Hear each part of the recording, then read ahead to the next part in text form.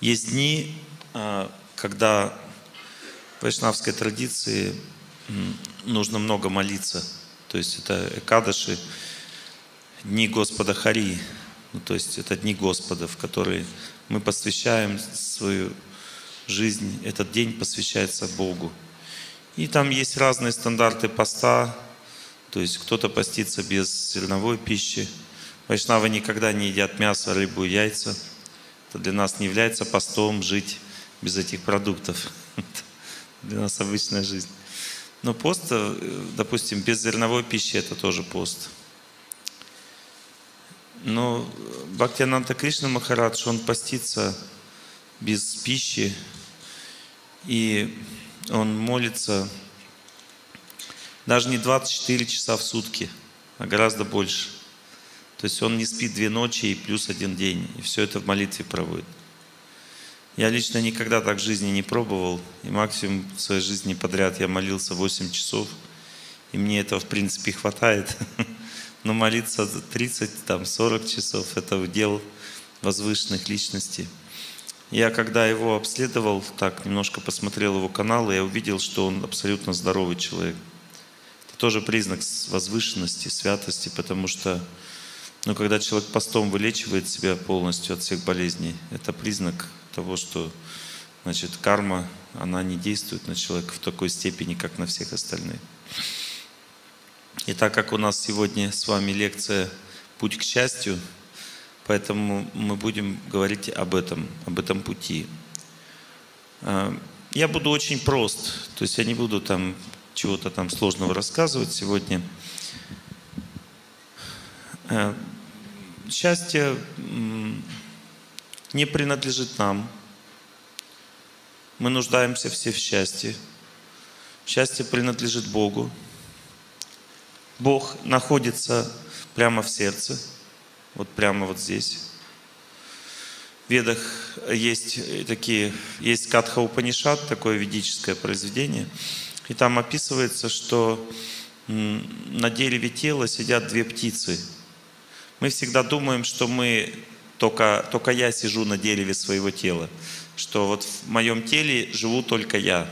Некоторые вообще себя считают этим деревом. Они считают, что они являются телом, что вот я это вот это вот тело. Но это на самом деле глубокое невежество так думать. Потому что э, пройдет совсем немного времени, и тела не будет, я когда ехал в машине сюда, меня Вайшнав поздравил с днем рождения и написал мне открытку. Я поздравляю вас с, с этим праздником, что вы родились в этом теле. Пускай это ваше тело будет здоровым. А вам я желаю духовного прогресса.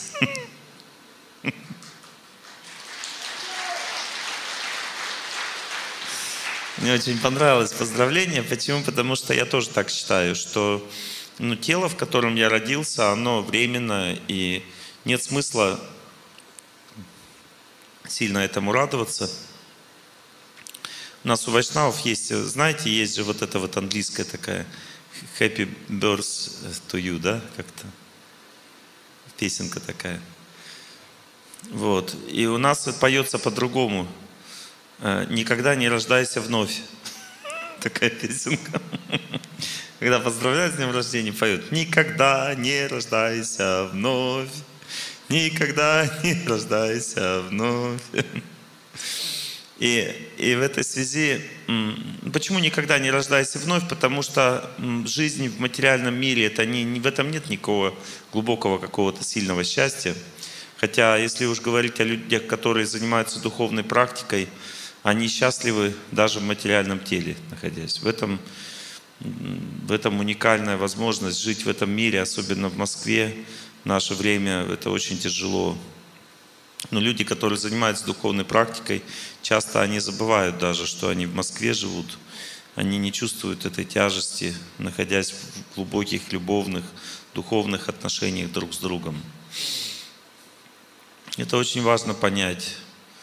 Когда это понял, тогда уже другая жизнь начинается, совсем другая жизнь. Это не касается только вайшнавской традиции. я глубокий приверженец в целом духовной жизни. То есть я очень счастлив слышать, как в других духовных традициях люди искренне занимаются духовной практикой. И я считаю, что человек должен выбрать сердцем, куда ему идти. И если этот путь к Богу, то это будет правильный. Путь к Богу означает духовная жизнь, наставника иметь, своего наставника молиться и заниматься серьезно духовной практикой. Серьезно означает в сердце, в сердце. Не внешне как-то на показ, а в сердце. Мы с вами заговорили о дне рождения, и а, ну, даже песни вот обычные, мирские, поют то же самое. День рождения, грустный праздник, ты не грусти, не грусти, не грусти, не грусти напрасно. Почему он грустный? Грустный праздник, есть только одна причина.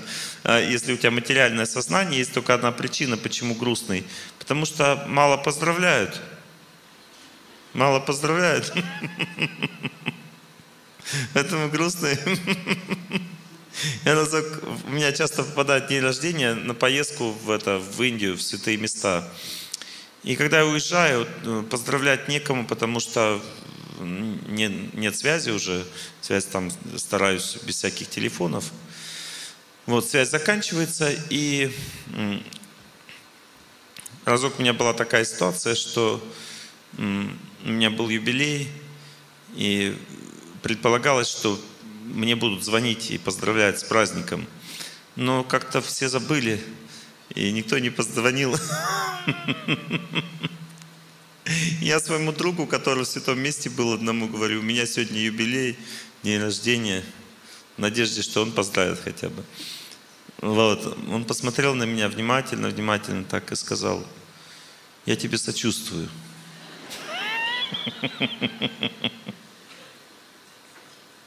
Ну, Вайшнава относится к этому празднику несколько иначе. И почему грустно? Потому что ложное эго очень большое. Ложное эго большое, поэтому грустно. Но на самом деле грусть должна быть вне человека, который занимается духовной практикой. И для Вайшнава на самом деле день рождения, это я не, не про себя говорю. Сейчас вам докажу это, что не про себя. Для Вайшнава день рождения означает возможность служить. Возможность служить тем, кто, допустим, тебе близок, кто дорог тебе. И сегодня одна из организаторов этого фестиваля удивительно подошла ко мне и говорит, мы вам решили подарить торт на день рождения. Я говорю, ну я завтра уезжаю в Индию и как бы куда его дену?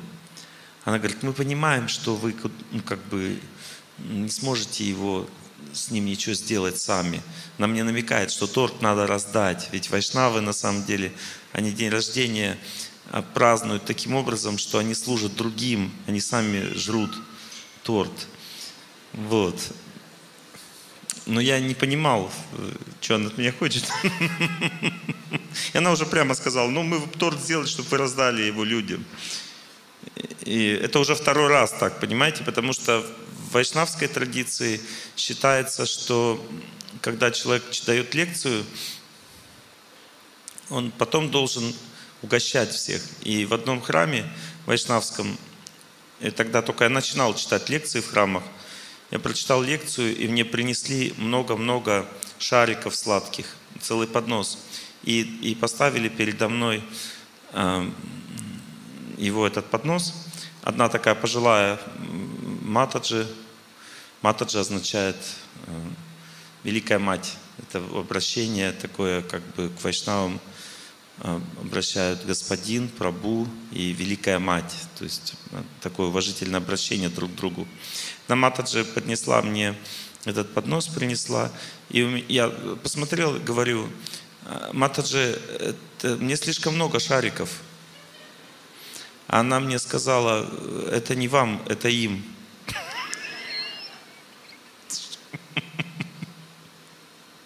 Мне стало очень стыдно, потому что я читал лекции на духовной темы, и Оказалось, что я просто материалист глубочайший. Надо вот прожектор этот выключить, вот тот вот. Потому что, может быть, и от меня сияние идет, но в глазах слепит как бы, и я не могу видеть аудиторию. Тот вот прожектор надо или ослабить, или выключить. Он прямо в глаза мне светит. Вот. Итак, а, мы с вами говорим о счастье, и ведические писания считают, а можно какие-то часы положить мне? А, вот они есть, да? Это правильное время, да? Неправильно здесь. Без, без, без двух, без десяти два, да? Это правильное время, да? Все, ага, хорошо. Вайшнавы считают, что э, счастье – это не то, к чему мы должны стремиться. И это правда, потому что счастье э, это, это энергия Бога. Ну, то есть люди в этом мире, они пытаются захватить счастье. И фактически счастье означает, это супруга Господа. Это в вайшнавской традиции счастье олицетворяет Шимати Радхарани. То есть это энергия наслаждения Господа, энергия счастья, наслаждения, любви. Эм, она принадлежит спут, вечной спутнице Господа – и люди должны научиться ей служить, этой вечной спутнице Господа, а не обладать ей. В целом существует в этом мире два настроения. Одно настроение называется демоническое, когда человек хочет обладать супругой Господа. Демоны хотят обладать этой энергией счастья. Они живут для счастья, для того, чтобы стать счастливыми. Вот. И другие люди хотят служить энергии счастья. Это божественные натуры, те, кто стремятся к Богу или слуги Бога. Ну, то есть, смотрите, те, кто стремятся наслаждаться или обладать счастьем, эти люди вечно страдают в этом мире. Почему? Потому что это стремление к наслаждению является грехом. Вот если вот разобраться, я говорю, это грех, это грех и это грех. А почему это грех? Что такое грех? Грех – это э,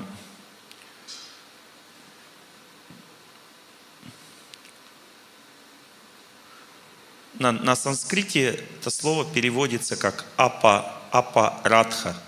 Апарадха. Апарадха значит оскорбление. Оскорбление кого? Оскорбление Бога. Ну, то есть, если ты живешь для себя, то ты оскорбляешь Бога в своем сердце, потому что на дереве тела сидят две птицы. Две птицы, то есть это вот такое образное сравнение. Одна птица – это душа, которая привлекается плодами дерева. То есть, что такое плоды дерева? Это, это наша жизнь. То есть весь этот мир соткан из энергии наслаждения. Мы можем видеть, что листики в лесу наслаждают, речка наслаждает – Конечно, то, что сделано людьми, не сильно наслаждает. Город не может так наслаждать, как речка, лес, солнце, потому что все, что сделано с людьми, а, это не божественное, это уже менее, меньше обладает энергией счастья, чем то, что сделано Богом. То, что сделано Богом, все обладает энергией счастья. Ничто не может сравниться с живым цветком. Он гораздо больше счастья дает, чем искусственный, тот, который сделан человеком. И с этой точки зрения весь этот мир соткан из энергии счастья, которая ну, наслаждает нас. И мы хотим радоваться этому миру, это все хорошо. Но вот эта птица, которая сидит на дереве тела и смотрит на плоды, на плоды, которые внешне все сладкий вкус имеют. Этот мир очень сладкий снаружи. Но все эти плоды внутри горькие, горькие.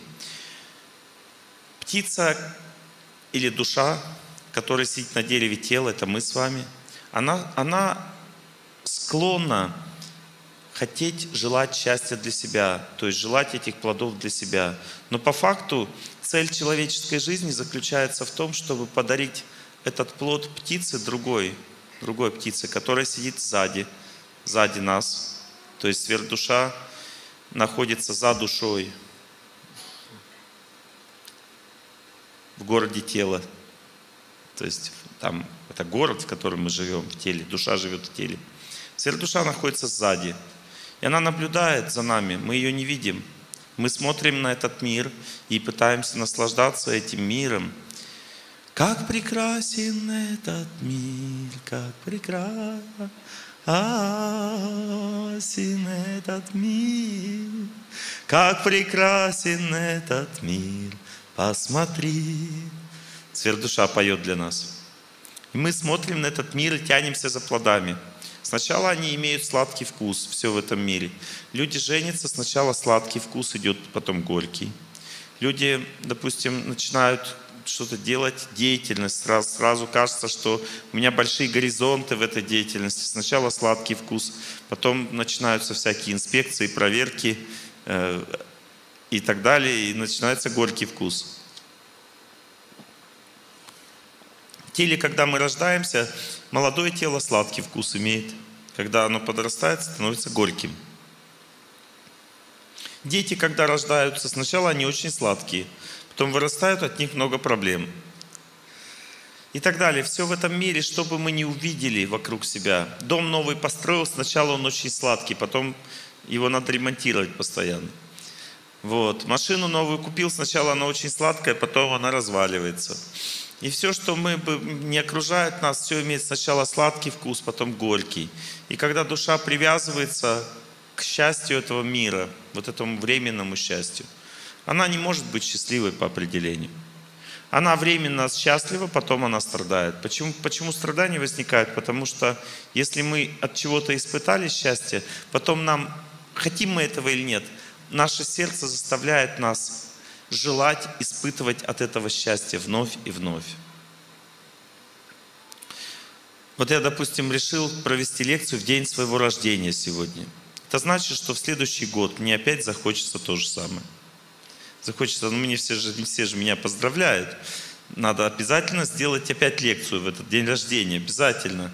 И чтобы счастья было больше, чтобы все меня больше поздравляли.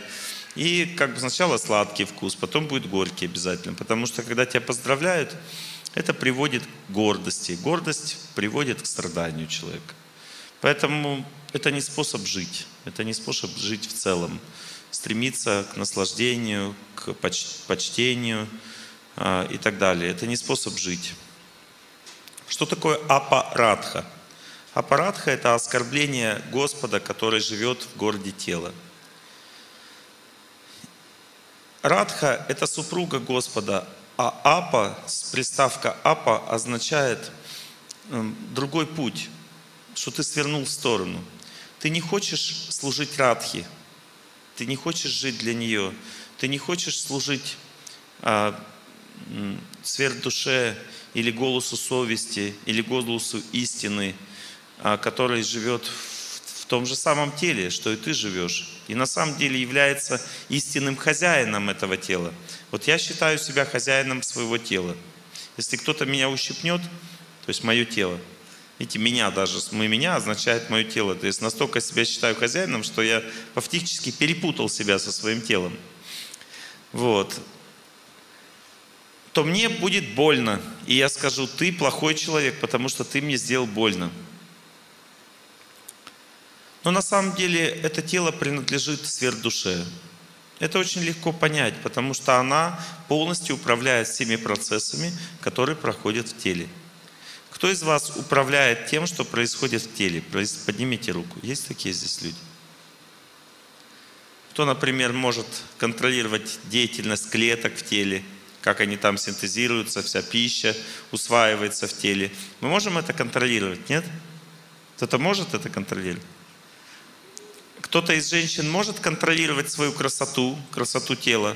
Женщины могут? Поднимите руку, кто из вас может контролировать? Чтобы я была всегда красивой. Кто из вас может?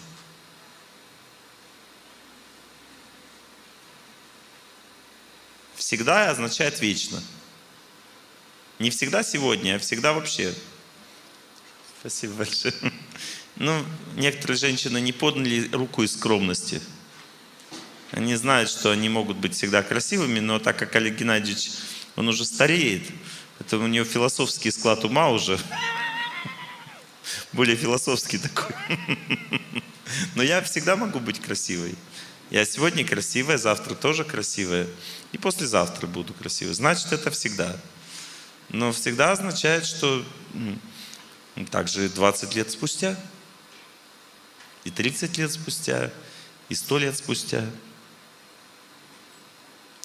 Затянулась белой тиной гладь старинного пруда, ведь была как буратино, я когда-то молода. Это, это черепаха, да, пела песенку? Она была красивая тогда, очень.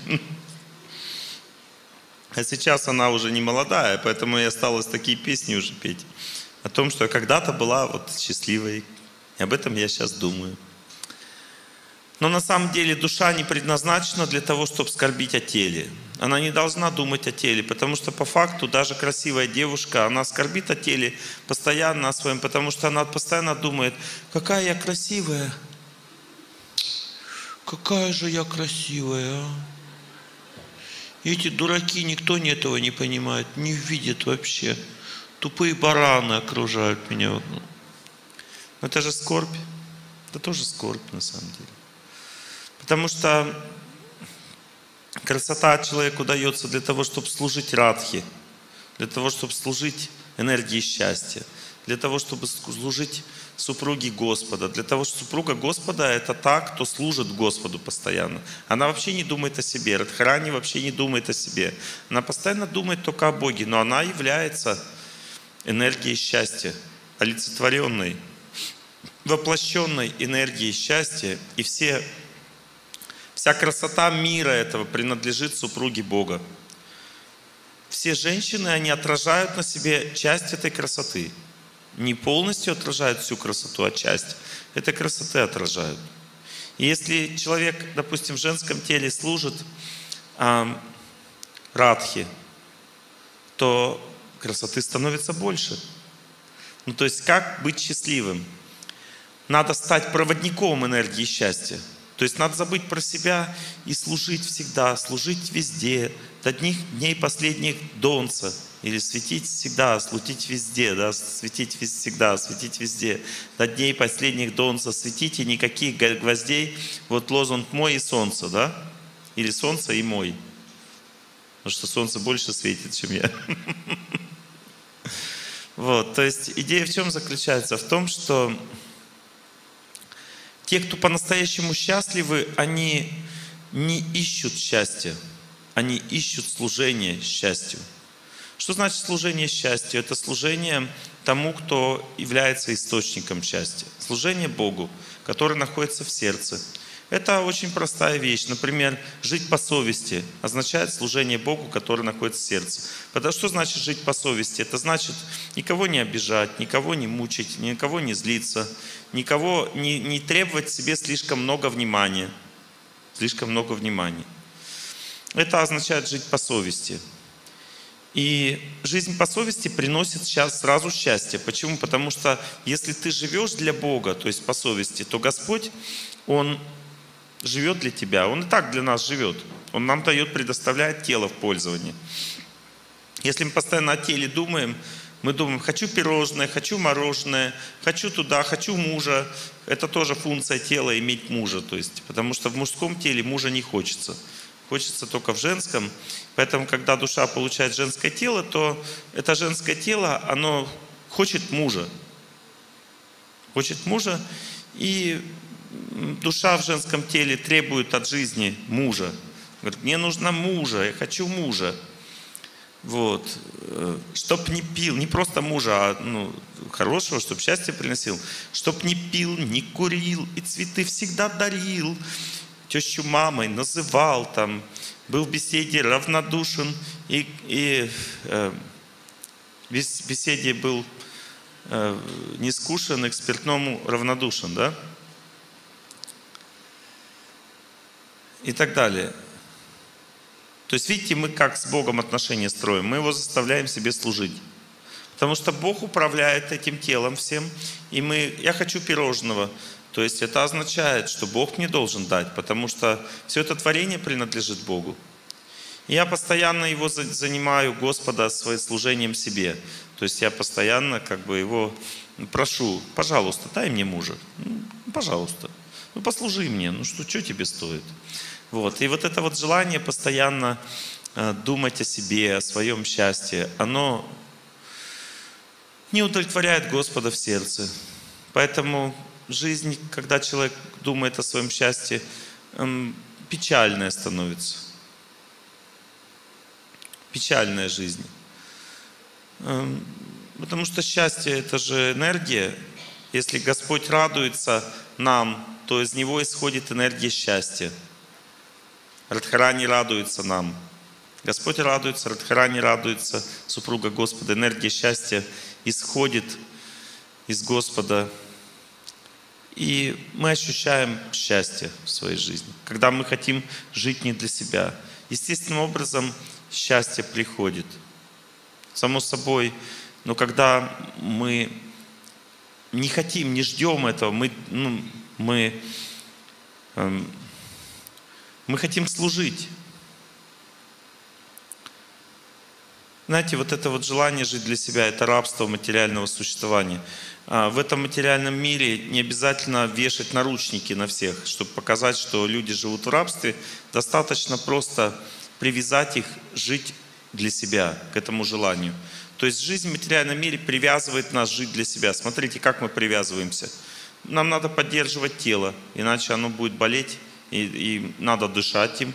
То есть уже ты живешь для себя, дышишь. Пить. Вот я пью постоянно. Я же не в вас пью, а в себя пью, да? И э, гирлянду тоже из цветов. Я не, не вам повесил на шею, а себе. Ну, то есть не я повесил, мне повесили. Но так или иначе, видите, э, очень много всяких привлекательных вещей, которые заставляют думать о себе и лишают человека счастья. Это называется рабство. Нам надо зарабатывать себе на жизнь, нам надо жениться, детей рожать, все это надо, без этого невозможно жить, это все нужно. Но это опять для себя, все для себя, для себя, для себя. И в результате счастья нет, потому что Господь радуется только тогда, когда мы что-то делаем не для себя. Вот посмотрите, вайшнавы расставляли вот эти вот цветочки, эти все вот лепесточки и э, э, фитиль, фитилечки вот такими красивыми узорами. Они сейчас готовят вам подарки. Они пекут этот торт, который мы будем раздавать сегодня. И они думают о вашем счастье постоянно. И поэтому я хочу служить этим людям. Я хочу служить вайшнавам, потому что они хотят служить Богу и людям, которые их окружают. Это ведическая культура. Ведическая культура – это обучение служению, то есть обучение быть счастливым. Потому что если ты служишь Радхарани, служишь воплощенному счастью, тогда ты являешься проводником этой энергии счастья. И когда ты через тебя счастье проходит, то ты его чувствуешь, ощущаешь. Но когда счастье через тебя не проходит, когда ты хочешь получить его себе, тогда ты его ощущать не можешь. Это отблеск счастья чувствуется. Вот, допустим, себе машину купил, раз, хорошо стало. А потом это гаснет. Привыкаешь к этому. Но когда человек живет не для себя, он настроен вот так вот жить не для себя, он постоянно счастлив. Потому что Господь в сердце радуется. Господь в сердце радуется. Я сегодня с утра читал молитву, а, молился, думал о духовном учителе о своем, повторял святые имена Бога.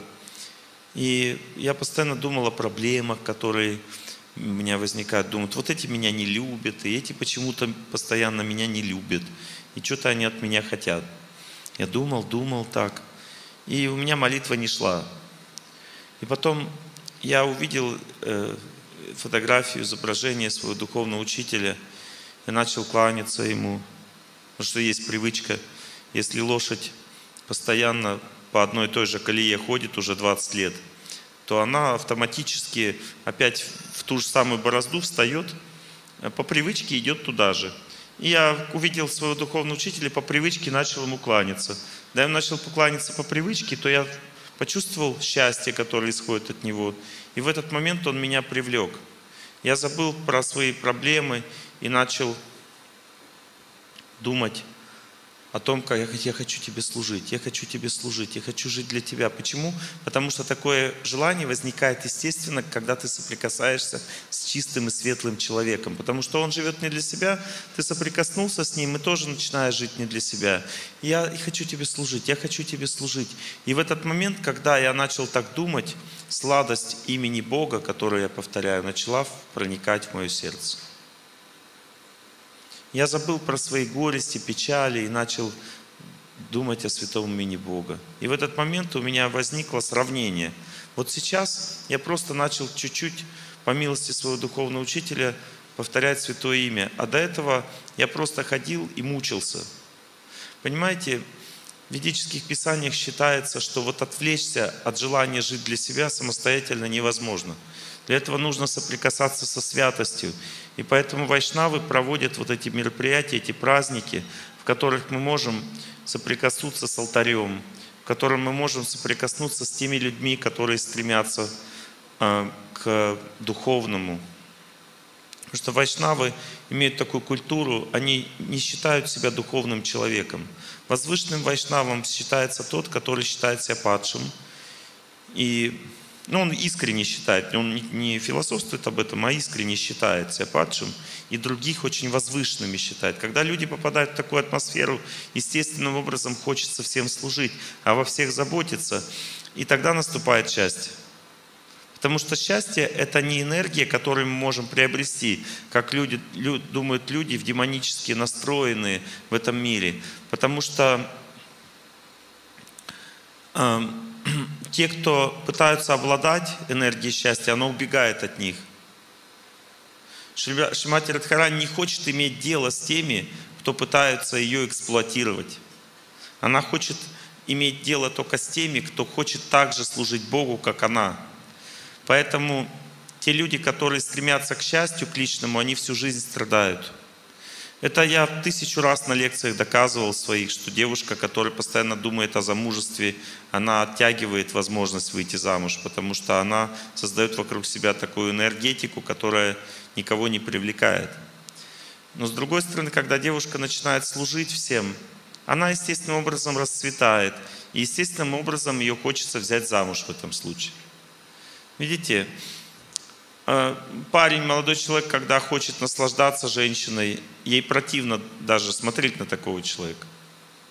Но когда молодой человек хочет о ней заботиться, она привлекается таким человеком. Видите, все, все попытки наши быть счастливыми в этом мире, они приводят только к страданиям. Всегда. Всегда. Но когда люди собираются в такой атмосфере, несмотря на то, что мы скованы желанием жить для себя, мы скованы, мы рабы в этом, этот мир, он сковывает, есть, есть силы в этом мире, которые сковывают нас, нацеливают на себя. Они приковывают нас к сознанию о себе, думая о себе. Пей, ешь, бойся смерти. Ты хочешь семью, ты хочешь детей, хочешь квартиру, хочешь хорошую работу. Эти силы, они приковывают нас к себе. И это рабство, потому что это приводит к страданиям всегда. Страданиям, страданиям, страданиям.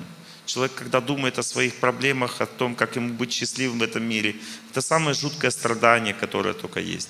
Но когда люди собираются вместе, для того, чтобы служить друг другу, для того, чтобы воспевать имена Бога, когда человек воспевает имена Бога, он автоматически имя Бога уничтожает возможность в человеке думать о себе, уничтожает.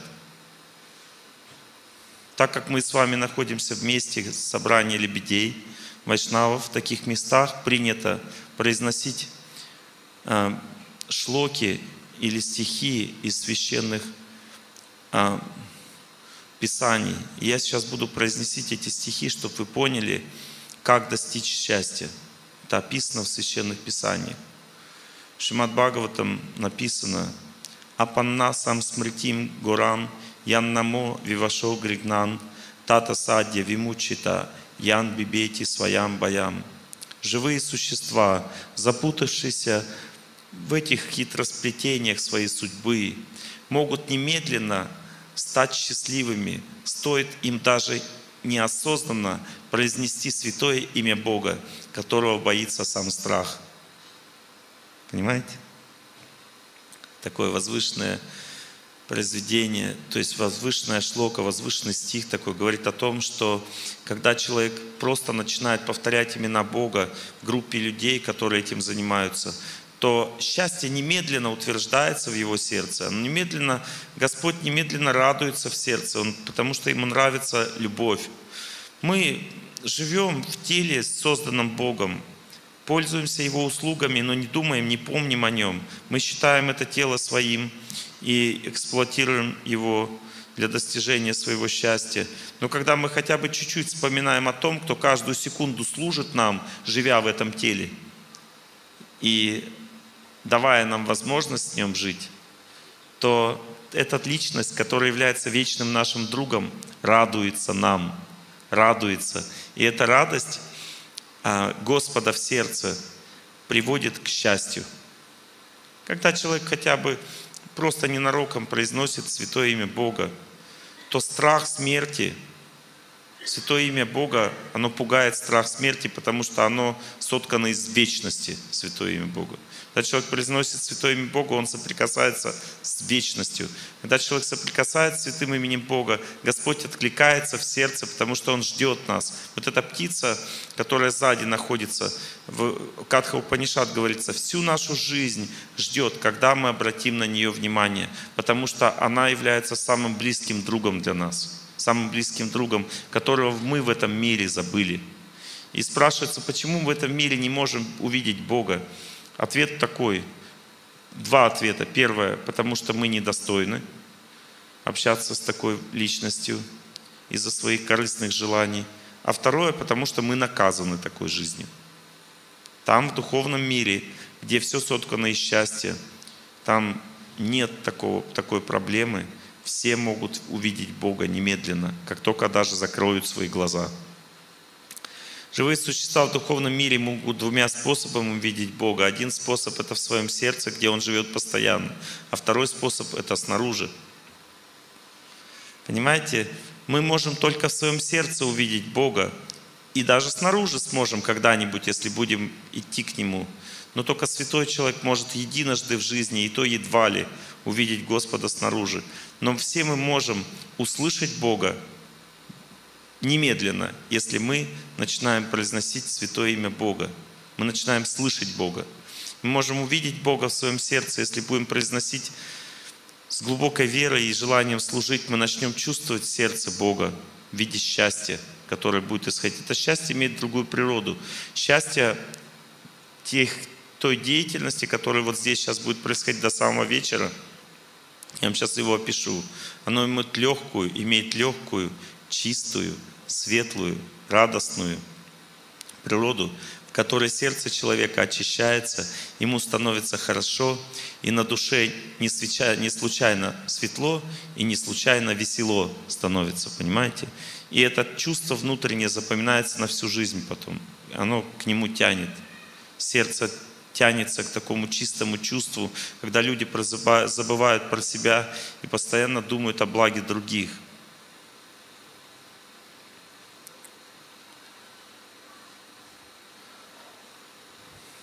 Следующая шлока. Ваю туна витрипьяма уттама шлока викраме. Ян шринвантам расоджнанам сваду сваду паде паде. А, говорится о том, как относятся к Господу те, кто стремятся к Нему всем сердцем. Мы не устанем слушать о возвышенных деяниях Господа, который один способ, которого прославляют в гимнах и молитвах. Те, кто стремится слушать о Его возвышенных играх – всегда пребывают в атмосфере глубокого счастья.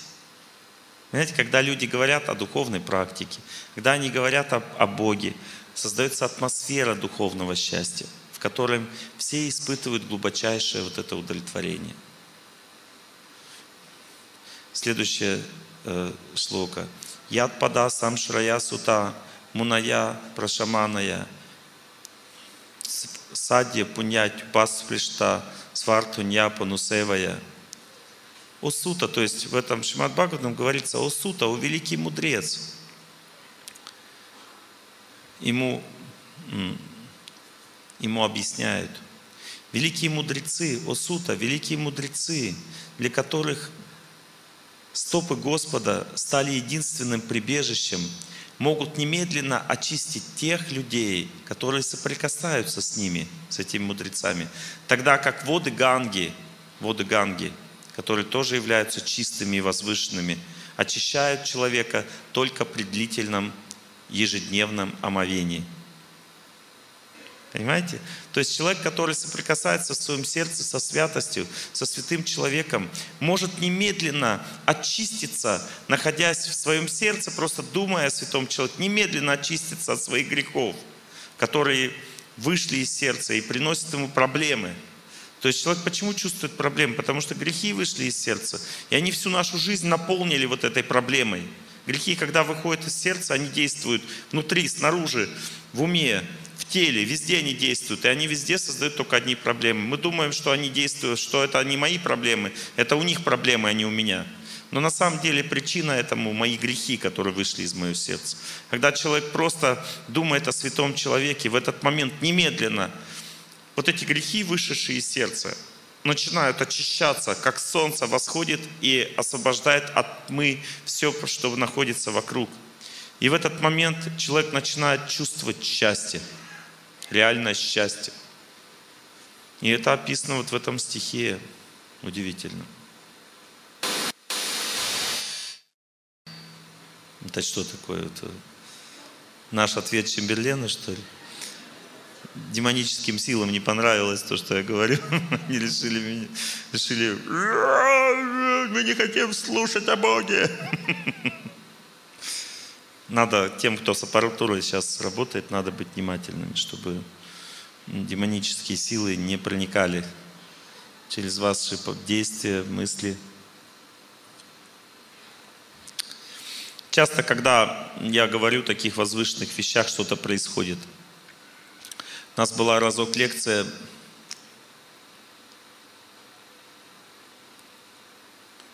Это была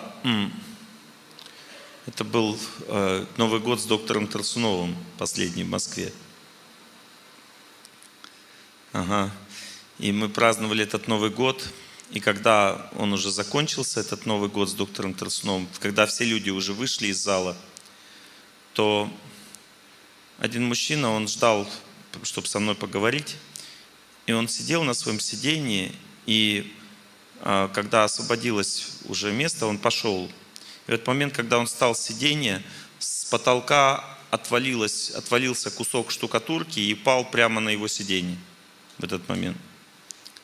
Ну, если, чтобы вам понять, что такое штукатурка в большом зале, это вот такой кусок камня, такой толщины где-то. Ну, может, такой.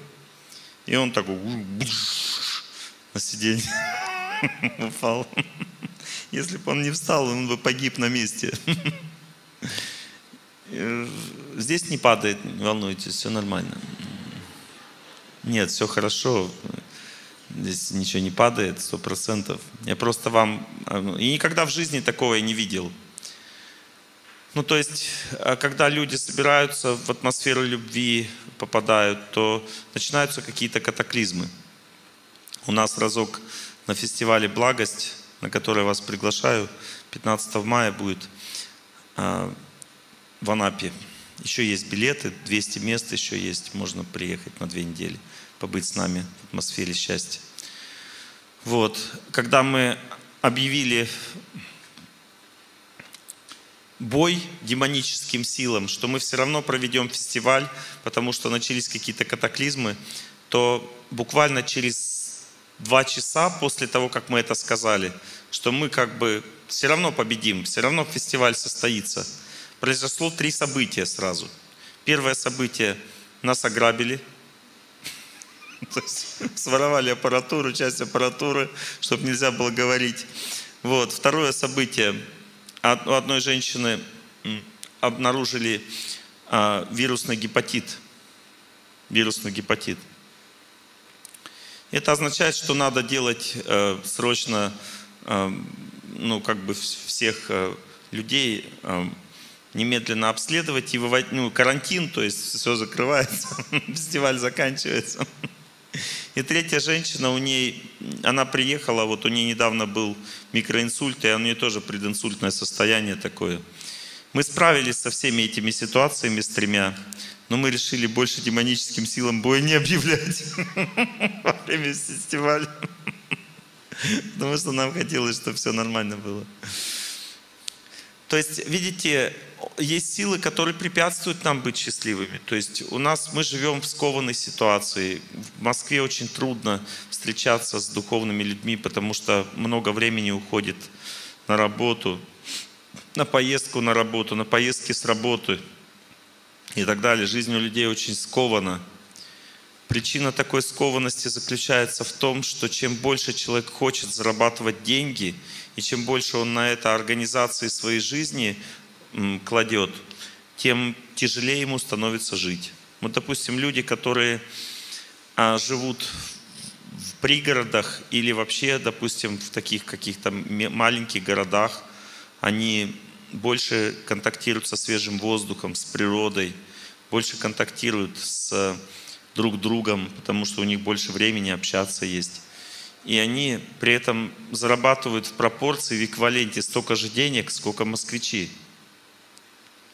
Понимаете? То есть вот мы не почувствовали, что мы меньше зарабатываем, уехав из Москвы. Меньше аренды, меньше стоимость продуктов, меньше стоимость домов, жилья, то есть в котором мы живем. Ну, то есть получается все дешевле, и поэтому пропорции получается то же самое. Нет смысла, это означает, что нет смысла так сильно напрягаться для поддержания своей жизни. Есть смысл понять, в чем заключается счастье человеческое. Смотрите, с одной стороны, то, что я вам уже рассказывал, вот эти вот стихи изысканные, возвышенные, в которых говорится, что соприкосновение с именем Бога, соприкосновением со святым человеком приносит счастье. Есть также стихи возвышенные, которые говорят о том, что изучение священных писаний приносит возвышенное счастье.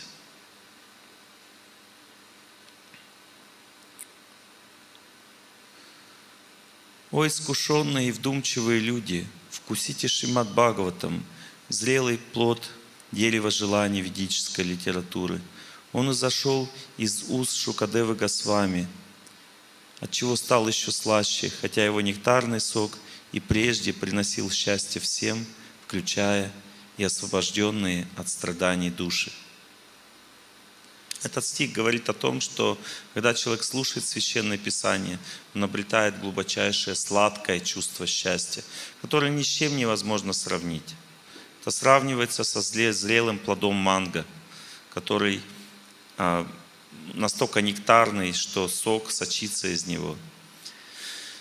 Таким образом, три составляющие счастья основные человеческой жизни – это священные писания, которые дают знания о Боге, наставники, святые люди, которые дают нам возможность с Богом соприкоснуться, потому что единственный способ быстро, могущественно соприкоснуться с Богом в наше время – это произносить молитву, обращенную к Богу. Или в нашей духовной традиции это означает произносить имена Бога. Итак, когда человек соприкасается с священными писаниями, он узнает, кто такие святые люди. Он получает наставника себе в жизни – Наставник учит его произносить имена Бога. Имена Бога учат его пониманию, кто такой наставник, учат его ощущению святости. Когда человек обретает святость, он начинает правильно воспринимать Священные Писания. Когда он правильно воспринимает Священные Писания, он глубже отношения со своим духовным учителем строит.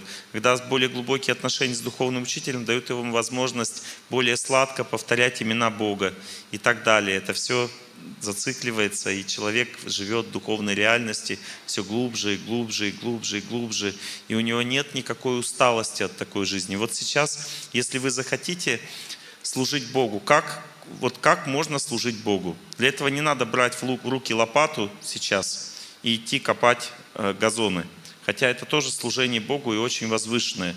Но здесь, вот в этом месте, уникальный вид служения Богу сейчас будет. Надо для Бога танцевать и петь. И кушать освященную пищу не для себя, не для того, чтобы насытить свой желудок, а для того, чтобы удовлетворить Бога. Танцевать, петь, любить друг друга, всем желать счастья и ни на кого не обижаться. Когда вы будете находиться в таком настроении здесь какое-то время, вы не устанете.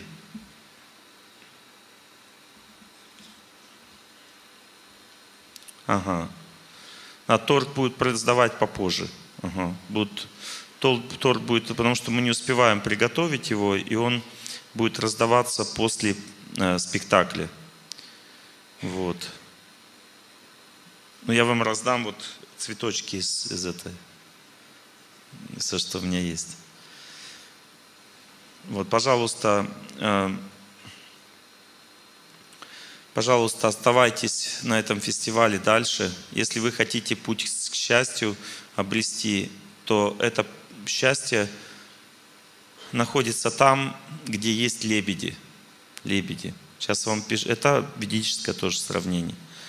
В Ведах объясняется, что обычный мир, в котором люди стремятся к своему счастью, это мир, в котором мы живем среди ворон.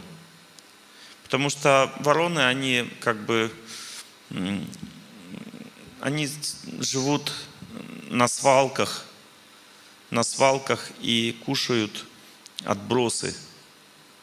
Когда человек постоянно думает о своем счастье, то в Ведах говорится, что он кушает отбросы своей кармы. Потому что, смотрите, мы, допустим, спрашиваем друг друга, как у тебя дела? У меня хорошо. А у тебя как? И у меня хорошо. Хорошо означает, не болею, нет, деньги есть, не болею, жена есть, дети есть. Ну, то есть это означает, что все это хорошо. Что значит? Хорошая карма. Потому что когда жена ушла, означает плохая карма. Денег нет, плохая карма. Заболел, плохая карма. То есть по факту э, счастье в этом мире означает просто, что нет плохой кармы. Видите, то есть мы в своем счастье зависим от кармы. А карма это, это считается, сравнивается в ведах. Если человек хочет зависеть от кармы, это все равно, что он зависит от отбросов, ну, то есть есть настоящее счастье, а есть э, настоящая пища, да, есть те, кто питается уже на свалке, после того, как остальные поели. Понимаете, вот когда человек живет вот этой радостью того, что у меня все будет хорошо, хотя в этом мире хорошо и плохо имеет одинаковое количество. То есть монета у нас такая, что с одной стороны хорошо, а с другой стороны плохо. И поэтому Невозможно рассчитывать на только хорошо. Будет половина хорошо, половина плохо в этом мире. Что касается кармы. Если мы рассчитываем на карму, как у тебя дела? Все хорошо. А у тебя как? У меня тоже хорошо. Меня один родственник сегодня поздравлял, он не занимается духовной практикой, и он воспринимает вот счастье таким образом, как он меня поздравил.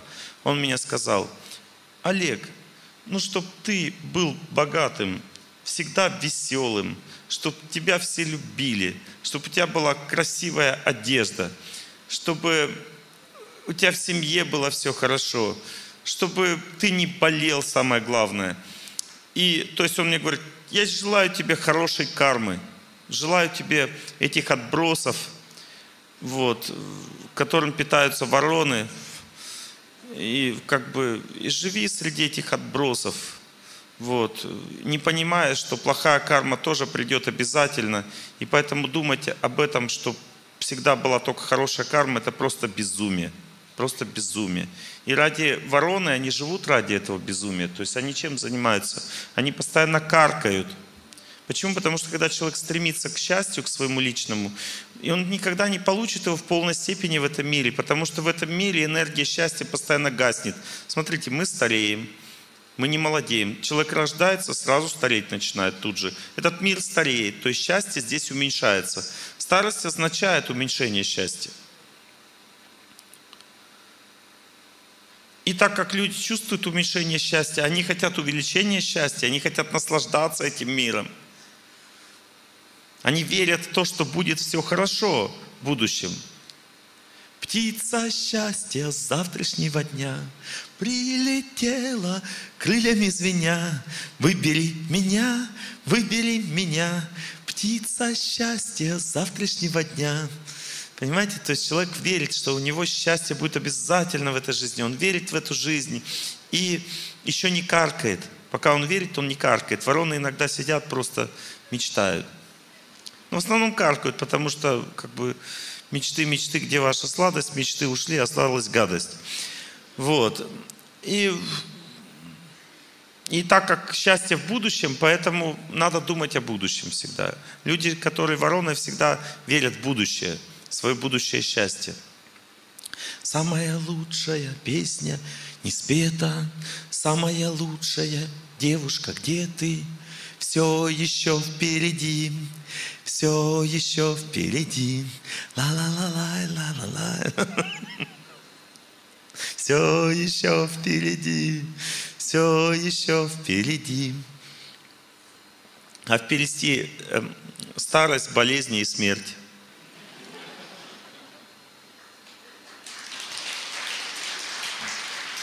Ну, что касается жизни в этом теле, если говорить о жизни в этом теле. Но есть еще лебеди – Понимаете? И вороны постоянно каркают. Почему они каркают? Счастья не хватает. Они каркают. Правительство плохое. Вокруг одни секты. Они каркают. Пища плохая у нас, экология плохая. Жить нам здесь плохо. Все козлы. Вороны – это их занятие постоянно. Если как бы эту литературу, которую вороны создают, взять, газеты, журналы, телевидение, одно карканье там постоянно, там, этого убили там-то, тех повесили там-то, этих наводнило, тех побило, и постоянно каркают, каркают, каркают. Вот. Ведь много же хорошего происходит в этом мире – Представьте, допустим, другие новости. Сидит такая девушка, такая религиозного вида, и такая говорит, в Гондурасе накормили нищих. В Никарагуа провели акцию заботы о пожилых людях. А там в Мозамбике все собрались и вскопали весь город сейчас весь город в цветах. А в Москве провели демонстрацию протеста против демонстрации протеста.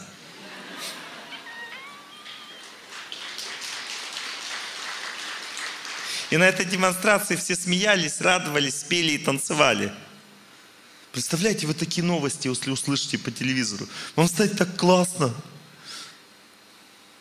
Понимаете почему? Потому что лебеди это всегда очень чисто и светло.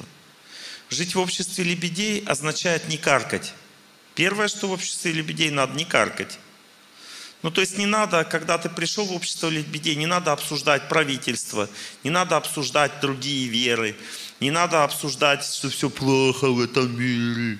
Не надо как бы вот этим заниматься, потому что это карканье здесь не нужно. В обществе лебедей прославляют Бога. В обществе лебедей думают о Боге, поют, танцуют, веселятся. Вы заметите, что сейчас многие будут петь и танцевать, а у вас тело сковано, то есть вы не привыкли петь и танцевать, вы привыкли сидеть у телевизора, смотреть эти новости, как бы хреновости вот эти вот. Вот. И как бы, и, и, а танцевать, пить как бы как-то не привыкли. Поэтому вайшнавы будут вас вовлекать, они будут подтанцовывать к вам, брать вас за ручку, чтобы вы тоже. Потом вы сами начнете танцевать, других будете как бы брать за ручку. И так постепенно все начнут танцевать, радоваться, петь. И некоторые говорят, для Бога не надо танцевать, для Него надо плакать. Да, В вайшнавской традиции есть такая практика, возвышенная практика слез о Боге. Очень высокий уровень развития личности. Веды говорят, что человек, который действительно платит в разлуке с Богом, это очень высокий уровень. Но на начальных этапах духовной жизни человек должен радоваться о Боге, радоваться, а не плакать. Потому что плакать захочется потом. Когда сердце будет скучать по Господу, скучает душа моя по Тебе, Господи. Понимаете, но так как у нас пока не скучает, поэтому мы должны плакать, должны танцевать, петь о Боге, радоваться, и Бог будет радоваться нам, и так мы будем с Ним знакомиться. Путь к счастью означает путь к служению Бога. Нет другого пути, пути к счастью в этом мире. Если кто-то думает, что путь к счастью означает путь к успеху в этой жизни, путь к развитию, путь к деньгам. У нас вчера был э, семинар для лидеров, пришло более 200 человек. В основном лидеры, люди, которые там как-то управляют э, другими людьми. И вот цель четырехчасового семинара была только одна. Показать лидерам, что счастье не заключается в том, чтобы эксплуатировать свою возможность управлять людьми. Счастье заключается только в том, чтобы сделать их счастливыми, тех людей, которыми ты управляешь. И я думаю, что семинар получился, потому что многие лидеры задумались об этом, что лидерам надо быть для того, чтобы служить. И поэтому кто такие общества лебедей? Смотрите, лебеди плавают в чистых местах. Чистые места – это места, где не занимаются чувственными темами. То есть в чистые места – это так, те места, в которых люди не обсуждают, как лучше жить, как нам быть счастливыми в этом мире. Чистые места – это места, в которых люди служат друг другу, заботятся друг о друге, поют, думают о Боге и прославляют Его, готовят пищу для Бога и распространяют всем людям, которые собрались здесь, освященную пищу. Чистые места там, где живут лебеди. Лебеди не живут в грязных водоемах, они живут в чистых местах. Дальше лебеди дружат чем? Сердцами. Лебеди находятся друг с другом рядом. Вот вороны, им надо нос к носу сидеть и каркать прям друг на друга. Вот обсуждать все, обсуждать вопросы все. Давай обсудим все вопросы нашей жизни. Давай обсудим, да, давай поговорим, обсудим. Все это заканчивается скандалом обычно. Но лебеди ничего не обсуждают, они постоянно думают о Боге, они прославляют Бога. У них есть какие-то трудности в жизни, но они терпят эти трудности, они не пытаются это решать с помощью бла-бла. Лебеди решают трудности все с помощью служения. Чем больше человек служит Богу, повторяет имена Бога, чем чище сердце и легче жить. И трудности все развеиваются. Лебеди не смотрят друг на друга, они плавают в одном направлении. Они плывут в одном направлении, и так как они белые птицы, они белые птицы. Поэтому Бог заботится о них. Есть черные птицы, которые думают только о себе, а есть белые птицы, которые про себя забыли. Они хотят другим служить. И белые птицы, в чем забота Господа заключается? В том, что белая птица, она когда плывет, у нее перья смочены маслом, выделяется тело масла определенное, и в результате не смачивается тело водой – мы, если человек хочет жить для Бога, он живет в том же самом мире. Те же самые люди вокруг. Все вокруг кричат, ругаются и матерятся о том, что все плохо. Но люди, которые служат для Бога, они не смачиваются водой этой материальной жизни. Они потому что имеют иммунитет на это. Когда человек постоянно думает о Боге, о служении Ему, то у него есть иммунитет на эти темы, которые оскверняют сознание – это еще одно лебединое свойство. И еще одно лебединое свойство заключается в том, что даже когда лебеди дают попить воды с молоком, то он делает специальные движения клювом, в котором вода вращается, и на стенках а, рта остается молоко, а вода потом вся выплевывается. То есть он, получается, отделяет молоко от воды. То есть лебедь может отделять суть Молоко означает суть, это энергия любви. Молоко – это энергия любви. Суть жизни – это энергия любви. Человек должен учиться любить других. Энергия любви проявляется только в любви к другим. Когда человек начинает думать о себе, то энергия любви в это время он ее уничтожает, он ее съедает, энергию любви. Лебедь отфильтровывает молоко, то есть что он делает? Он энергию любви для нее начинает жить, а воду выплевывает. Лебеди не хотят жить для простой болтовни. Вода, считается вода, означает простая болтовня. Лебеди говорят только о Боге. Лебеди хотят говорить о возвышенной жизни, о Боге, о чем-то возвышенном. Они хотят обсуждать, сплетничать, клеветать, плохо думать о других. Они хотят думать только о чем-то возвышенном. Они хотят жить возвышенной, чистой жизнью. Им не интересно думать о плохом обо всем. Потому что почему плохо все происходит? Потому что мы поражены грехом. Жизнь в этом мире поражена грехом. Вы, допустим, спросите меня, Олег Геннадьевич, а если соберутся одни благочестивые люди, вот представьте, Москва 8 миллионов человек лебедей. Олег Геннадьевич, что-то внешне изменится? Веды утверждают, что если 8 миллионов лебедей соберется в Москве, то климат наладится, птицы начнут слетаться в эту местность. Не вороны, а красивые пернатые птицы. В этой местности начнут расти хороший урожай. В этой местности животные, не крысы будут бегать по городу, а попугайчики и так далее. Все поменяется, понимаете? И вы скажете, Олег Геннадьевич, вы сочинитель. Хорошо, я приведу вам пример. Я знаю место, где 150 человек собралось, лебедей, жить вместе. Это в Венгрии есть такая община вайшнавов, где люди постоянно молятся Богу, они как бы живут на земле, самодостаточной жизнью, сами выращивают все, живут простой жизнью и ничего не сильно хотят там от этой жизни, кроме служения Богу. В этом месте установился хороший климат. Где по бокам идет дождь, у них солнце светит.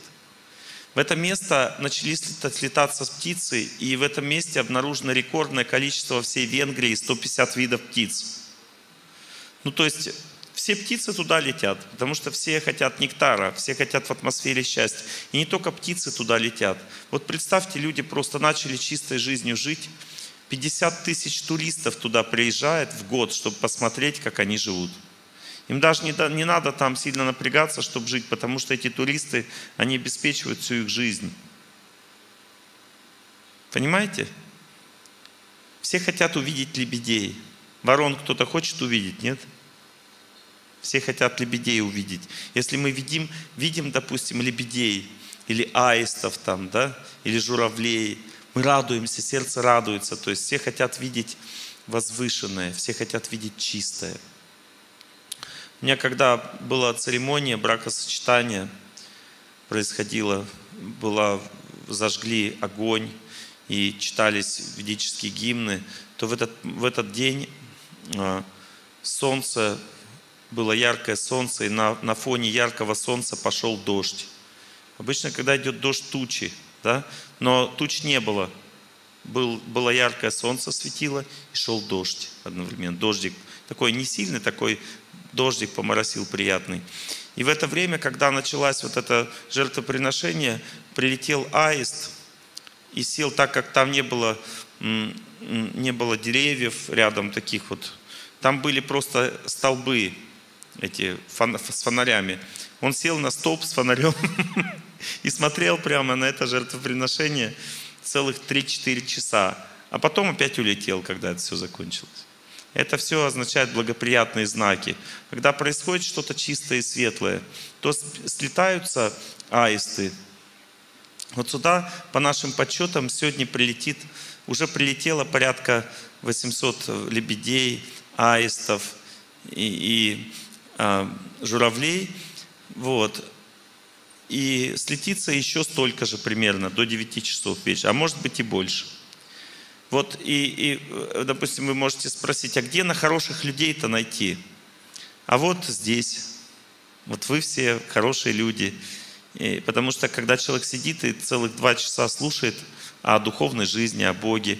Это значит, его уши пропитаны бальзамом любви. Это значит, его сердце тянется к Богу. И это значит, что он лебедь по своей природе. У него, может быть, немножко перышки еще черные снаружи, но э, внутри уже чистые, светлые, беленькие. Вот. И когда вы начнете танцевать, все эти чернота вся отпадет, и вы начнете, вы станете прекрасными все, удивительными. Поэтому счастье, путь к счастью – это путь к Богу. Нет другого пути. Есть разные настроения этого пути к счастью. Все эти настроения чудесны. Некоторые сразу плачут по Богу. Некоторые сначала танцуют, потом плачут. Но по-любому мы разлучены с Богом. Мы здесь, в этом мире, разлучены с Богом. И поэтому кто-то в этой разлуке хочет не в тоске проводить время, а в любви. И это один вкус. Кто-то думает о Боге, молчит о Боге больше, созерцает. Кто-то плачет о Боге. Есть разные духовные настроения, и поэтому есть разные духовные традиции. Нет никакой, э, никакого приоритета в этом. У кого какое настроение, кому больше нравится, как жить с Богом в своем сердце, тот так и выбирает. Я вот, так как я в целом человек э, такой не сильно способный скучать по Богу, не сильно способный, потому что сердце тупое, холодное и злое.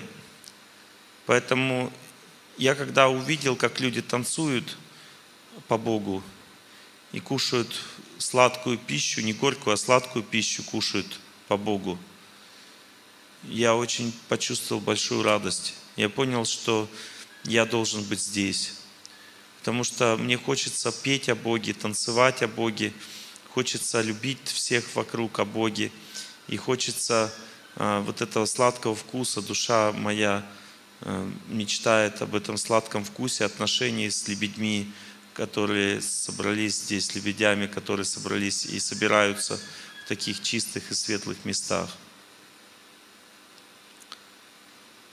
Путь к счастью – это путь к святости.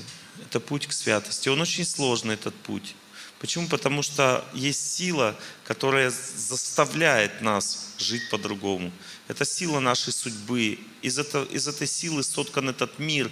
И этот мир поэтому называется тюрьмой для души.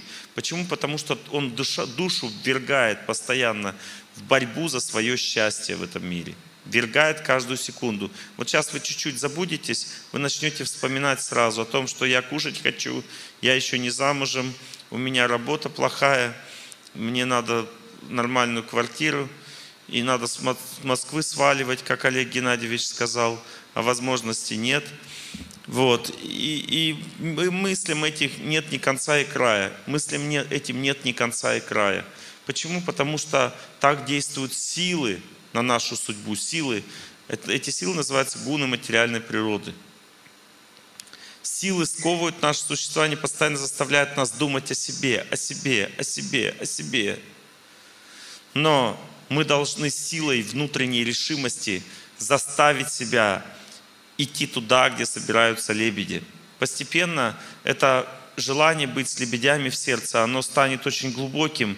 И у человека вот этот сладкий вкус духовной жизни даже дома а будет оставаться таким же сладким и сильным, и он не будет гаснуть. И постепенно жизнь постепенно станет вот такой сладкой, чистой, светлой. И это означает, что человек становится счастливым. Он каждый день хочет молиться, каждый день хочет читать о Боге, он хочет говорить о Боге, он хочет думать о Боге, он хочет забыть о своих проблемах – и когда ему говорят все вокруг, забудешь о проблемах, станешь нищим, несчастным, бедным, больным. Это все просто невежество, потому что когда человек думает о Боге, то что происходит? Лотос удачи начинает рождаться в его сердце. Как он, этот лотос удачи, проявляется во внешней жизни? Сейчас я вам расскажу. Первое, у человека отшибает всякий интерес к материальному счастью. Ему не интересна слава, сильное богатство там какое-то большое. Все это он чувствует пустым. Но самое удивительное заключается в том, что параллельно с этим происходят другие вещи. Когда человек, лотос удачи в сердце человека восходит, качество характера его сами собой меняются. Он становится лучше по характеру. Если человек становится лучше по характеру, он находит о окружении более возвышенных людей. Эти более возвышенные люди заботятся о нем более качественно. Это более качественная забота при, приводит к успеху. Человек, который имеет хороший характер, ему не нужно слишком много работать, чтобы зарабатывать деньги. Это происходит у него само собой, потому что он попадает в общество людей, которые заботятся о нем. Итак, человек, который думает о Боге, само собой получает нормальную, обеспеченную жизнь в этом мире. Как это происходит, это секрет. Ни один семинар по успеху в бизнесе вас этому не научит. Все семинары по успеху в бизнесе учат человека думать о своих материальных желаниях и все больше попадать в материальное рабство. Меня один человек вчера спросил на семинаре, а почему вот мой, мой один друг, у него на фирме все так сильно работают, напрягаются, у них постоянно одни проблемы, и постоянно им так тяжело жить. Я ему объяснил, что чем больше человек хочет счастья в материальном мире, чем больше он тянет руку, тем больше ему приходится работать. Чем больше ему приходится работать, тем больше скандалов и раздоров, потому что психика напряжена. Чем больше скандалов и раздоров, тем отрицательная энергия вокруг распространяется, и тем меньше счастья достается. Понимаете, чем больше человек хочет счастья, тем больше ему надо работать, и тем меньше счастья ему под конец достается в конечном счете. Чем больше человек думает о Боге и служит другим, тем он светлее становится, тем больше он привлекает энергию счастья к себе, тем легче ему работать, легче жить. И все это тайна. Объяснить это логическим путем невозможно. Человек просто начинает думать о Боге, знакомиться с хорошими людьми. Эти люди его устраивают на нормальную работу. Он знакомится, девушка знакомится с нормальным мужчиной, парнем, который стремится к Богу у них э, возникает более-менее нормальная жизнь, потому что когда семейная жизнь возникает, все равно эта семейная жизнь, эта энергия эгоизма возрастает в сотни раз. И так как она возрастает, все равно там будут скандалы обязательно. Поэтому не надо думать, что вот мы сейчас встретились в религиозной среде, у нас в семье не будет скандалов. Будут обязательно, потому что вы же хотите наслаждаться друг другом, значит будут страдания обязательно. Но если люди развиваются в духовной среде, они перестают думать друг о друге, они начинают думать, как служить Богу вместе, и в этом случае скандалы заканчиваются уже. Начинается счастье. Поэтому жить для Бога всегда прекрасно, хорошо и удивительно. На этом пути нет никаких потерь, на этом пути нет нищеты, на этом пути нет раздоров, нет разногласий, нет глупости, нет фанатизма. Некоторые думают, вот пойду религиозным путем, стану фанатиком религиозным. А кто такие фанатики религиозные? Фанатики это те, кто не любят другие веры. Вот это фанатики религиозные. Это те, кто потом постоянно в ненависти находится к людям, которые не моей духовной традиции – но по определению верующий человек – это человек, сердце которого соткано из нектара. В нем нет фанатизма, в нем нет злобы. Фанатики – это те, кто не понял, куда они попали. Это те люди, которые еще не религиозные по своей природе. В нашей культуре ведической фанатиков называют начинающими верующими, неофитами. То есть людьми, которые по факту не поняли, что такое духовная жизнь. Они просто лижут банку меда снаружи, пытаясь через стекло почувствовать сладкий вкус. Пока человек оскорбляет верующих людей других традиций духовных, постоянно всех критикует, он никогда не сможет сладкий вкус отношений с Богом почувствовать, потому что Бог является другом каждого живого существа, каждого человека, независимо от того, к какой вере он относится. Не имеет значения. Бог любит всех одинаково, потому что Он эти веры нам сам и дал. Это все, все в этом мире от Бога идет. Какие у вас есть вопросы ко мне сегодня? Я с вами поделился самым сокровенным сегодня здесь, в этом удивительном зале, удивительной атмосфере, в присутствии э, Господа, в присутствии Его слуг, в присутствии моего духовного наставника Бхактиананта Кришны Махараджа. Я вам открыл свое сердце, сказал всю правду. Теперь ваши вопросы. Не стесняйтесь. Как? Есть второй микрофон у нас еще? Есть еще один микрофон, чтобы люди могли вопросы задавать, потому что я не слышу, что меня спросили.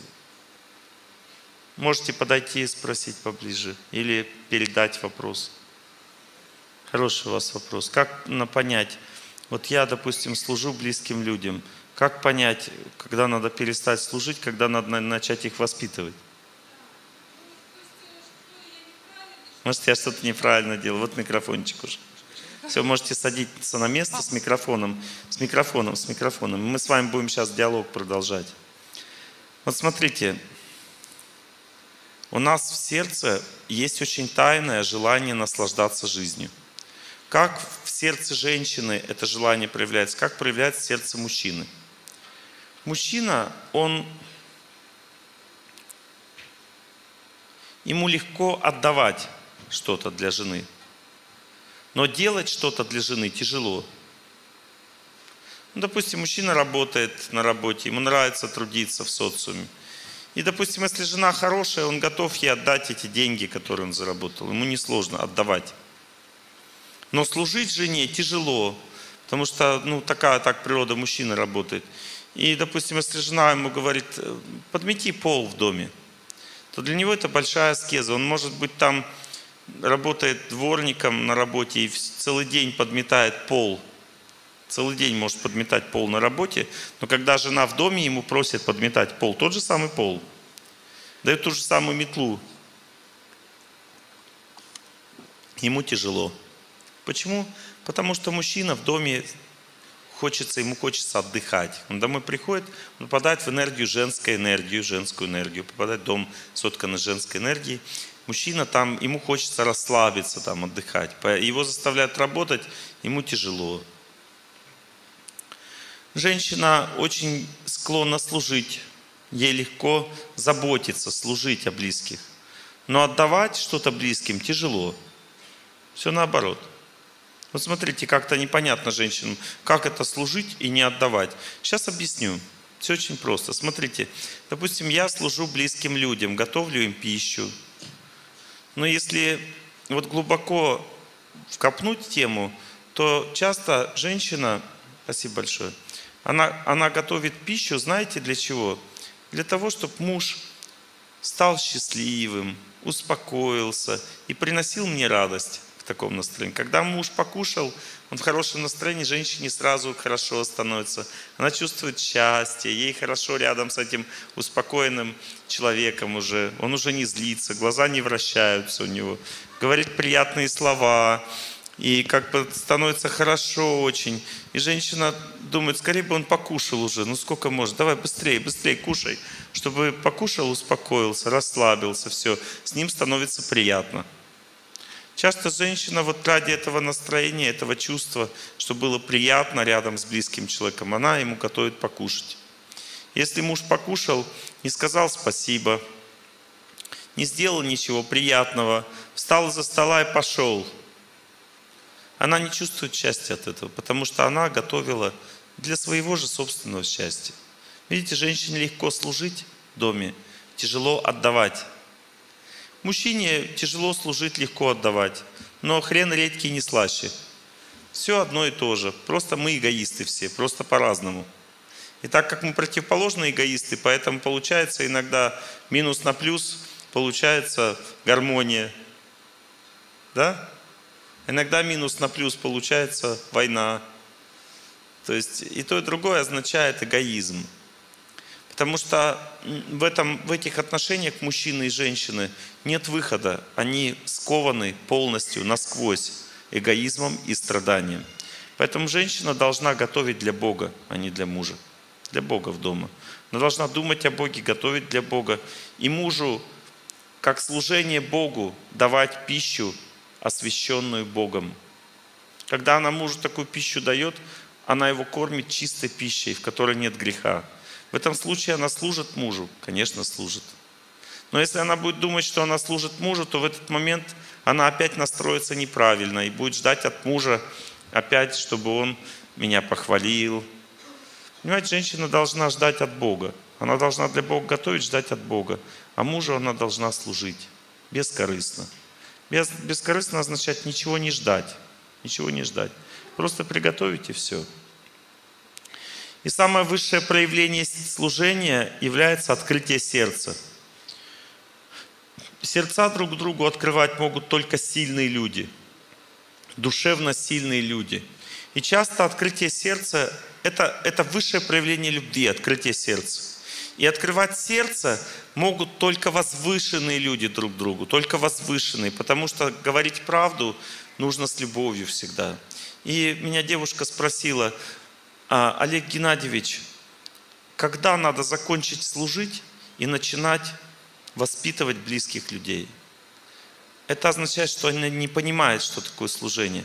Самое высшее проявление любви и воспитания близ, близкому человеку, то есть служение близкому человеку, это его воспитывать. Говорить ему правду, но с любовью. Понимаете? Мы-то как говорим, когда мне перестать надо наслаждаться служением близкому человеку, и когда надо начинать его мучить? Ответ такой, когда ты наслаждаешься служением близкому человеку, он от этого служения наглеет, и когда он совсем обнаглеет, тебе надо его начать мучить. И то, и другое любовью не называется. Микрофончик у кого? А? Вы понимаете, о чем я говорю? Поняла? Не совсем еще поняла. Слушайте дальше. Слушайте дальше. Смотрите. Любовь настоящая, она бескомпромиссна по природе. Она не боится потерять ничего, она просто говорит правду с любовью. Понимаете? Настоящая любовь, она служит без, без э, оскомины, что мое служение – не приняли с уважением ко мне. Но по отношению к мужу такая любовь настоящая невозможна. Понимаете, между мужчиной и женщиной любовь имеет очень корыстную, вязкую, желающую наслаждаться природу. Поэтому надо перестать смотреть друг на друга. Вы сейчас очень сильно сосредоточены на муже. Надо начать смотреть в одну сторону. Надо перестать как вороны жить, начать как лебеди. Лебеди плавают в одном направлении. Они не упираются носами друг друга, не каркают друг на друга. Лебеди плывут вперед. Как воспитывать мужа? Можно сказать ему правду, но не нужно к этому придавать слишком большого значения. Можно сказать, наверное, лучше бы было, если бы ты начал самосовершенствованием заниматься. И сказать это как в шутку. Но сердце его поймет, о чем речь. Чем больше любви, тем больше понимания. Но если вы говорите, не ты замучил меня, как ворона живешь, я тут лебедь рядом с тобой. Понимаете, то есть э, не поймет. Он подумает, это я лебедь, а ты ворона. Все наоборот. Вот, понимаете, не поймет. В этом мире нет справедливости. Чем больше вы, ну, если вы служите для Бога, готовите пищу для Бога, кормите мужа, он очищает свое существование. Это написано в Бхагавадгите. Когда человек кушает освященную пищу, жизнь его становится светлой и чистой. И от этого, он, так как он очищается, у него просыпается совесть, уважение, и он начнет вас понимать, уважать, и жить другим человеком станет, кушая освященную пищу. Но когда вы готовите для него, вы в это время кормите его только одним грехом, потому что вы, когда готовите для него, вы ждете счастья от него. А человек не может другому человеку подарить счастье, потому что мы сами нуждаемся в энергии счастья. Мы нуждающиеся здесь, а не дающие. Понимаете? Поэтому он и грабит вас. Он грабит вашу красоту, а вы грабите его успех – Понимаете, женщина выходит замуж для того, чтобы мужчина обеспечивал ее беззаботной жизнью, успехом своим, своей силой, могуществом, смелостью, добротой, порядочностью. Она грабит его силы, да? Она забирает силу у мужчины. Женщина грабит силу у мужчины. Все, что у него есть в силе, она забирает у него для своего наслаждения, благополучия. А мужчина грабит у женщины красоту. Он наслаждается его красотой. Женщина наслаждается силой мужчины, могуществом. Мужчина наслаждается красотой женщины. Кто из них прав? Ваш, вам вопрос. Что делать? А? То, что вы говорите, служить для Бога получается. Получается, служить для Бога. Что-то скучно получается все. Ну, это сложно понять. Да, теоретически сложно. Но на практике легко. Вот смотрите, сейчас мы будем петь и танцевать, подключайтесь. Хорошо? Хорошо. Будете с нами петь и танцевать, и потом приходите домой, такая счастливая к мужу. И он тоже счастливым становится, и все печали, как бы они забыты, потому что энергия счастья пропитала вашу жизнь. И то, что вас волновало, уже сейчас не волнует. Потом, да переживем как-нибудь со своим эгоизмом. У тебя своего хватает, у меня своего, но в целом все хорошо. Почему вы сейчас в печали находитесь? Потому что вам счастья не хватает, а вы ждете его от мужа. Думаете, может Олег Геннадьевич его повоспитывать, мужа-то, чтобы счастье больше было? Нет, от этого счастья больше не будет. Вы просто обмануты. Вы думаете, что счастье человек должен от мужа получать, и поэтому замуж вышли. А замуж на самом деле вы вышли, чтобы выполнять свои обязанности перед мужем, чтобы ему служить. Вы не для счастья замуж вышли. Если вы будете думать о своем счастье, находясь замужем, вы будете страдать еще больше. А вот счастье надо получать в этих песнях и танцах для Бога. Вот там надо искать счастье. Только там оно есть. А там, где вы его ждете, его нет. Ваша проблема только в том, что вы обмануты судьбой. Вы не знаете, где настоящее счастье. Понятно? Не знаете. Вот настоящее счастье моего дня рождения заключается в том, чтобы служить Богу в это время. Служить Богу в это время. А поздравления, которые будут приходить, не являются моим счастьем. Это будет счастьем тех, кто поздравляет. Потому что мое счастье – это служить. Я хочу служить. Я не хочу наслаждаться в этом мире. Я хочу служить.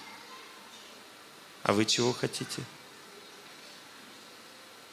Ну, микрофончик же у вас в руках. Скажите, чего вы хотите? А? А? Ну, если от мужа, то защита. Нет, вы чего хотите, наслаждаться или служить? Наслаждаться. Ну, служить тоже мне нравится. Значит, вы будете страдать. Если вы хотите наслаждаться, будете страдать, значит. Но если вы скажете, я Олег Геннадьевич надоело, надоело наслаждаться, хочу служить. Служить хочу, хочу быть счастливой. Тогда будьте счастливой. Тот, кто хочет служить, будет счастливый. Тот, кто ждет защиты, будет страдать. А если видишь, что человек э, не в ту сторону идет, не туда? Это значит, что вас судьба наказывает. Если видишь, что, видишь, что близкие люди пошли не туда, значит, карма плохая вышла из вашего сердца. Значит, пришло время вам экзамены сдавать в жизни, получать наказание от судьбы.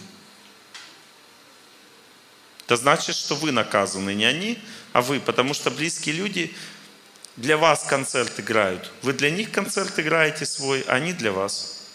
Они вам спектакль показывают, ваш спектакль. Это ваш спектакль, вашей судьбы. Вы там в такой жизни заслужили, чтобы близкие не туда шли рядом с вами. Потому что вы сами шли не туда в прошлой жизни. Что делать? М?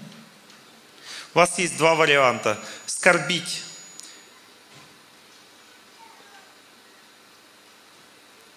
Или петь и танцевать для Бога. Что выбираете? Петь и танцевать. Все. В это время можете петь и танцевать и думать, все равно нет счастья, муж у меня не те дорога идет. И в это время петь и танцевать. Это уже самообман. Это значит, что вы настолько скупая, что вы не можете даже быть счастливой, когда попали в атмосферу лебедей. Понимаете? То есть вам надо здесь по-лебединому жить. Надо петь и танцевать для Бога, веря, что это работает – Хотя бы просто попробовать. Вы придете, вам легче станет в отношениях с мужем. Разок у меня совсем с женой было плохо в отношениях. Я думаю, наверное, мне пора семейной жизнью заканчивать жить, буду отреченным человеком. Пришел к своему наставнику, говорю, хочу отреченной жизни, что-то у нас не клеится. Он говорит, ты жену-то пригласи свою. Я пригласил, Он говорит, ну рассказывайте ваше, вот, что вам не нравится, что вам не нравится. Она свое рассказала, я свое рассказал, начал смеяться. Смеется такой, смеется. Посмеялся такой, у вас все так классно. В отношениях.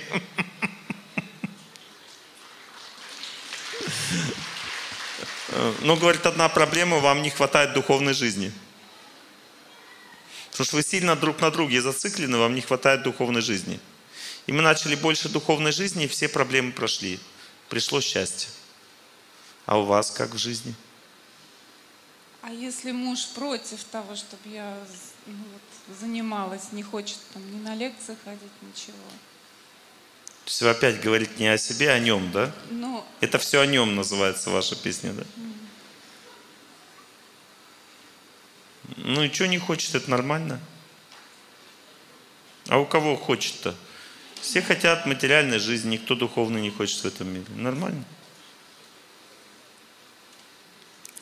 Если муж не хочет, значит вы недостойны заниматься духовной практикой. Когда будет достойно, он захочет. Вот у меня все родственники не хотели, чтобы я духовной практикой занимался. Сейчас все захотели. Вот честно, все до одного. Но Им всем нравится, что я занимаюсь этой духовной практикой. Все до одного. Потому что Бог разрешил. Он сказал, пожалуйста, занимайся духовной практикой. Все, я тебе разрешаю. И через родственников это проявляется. А вам Бог разрешил? ну по-разному бывает. То, А? То вроде бы не против, то когда какие-то проблемы. А, всё-таки разрешил, не- значит. Вот так, вот так, 50 на 50. То против, то не против. Вы знаете, у вас так классно все в вашей семейной жизни.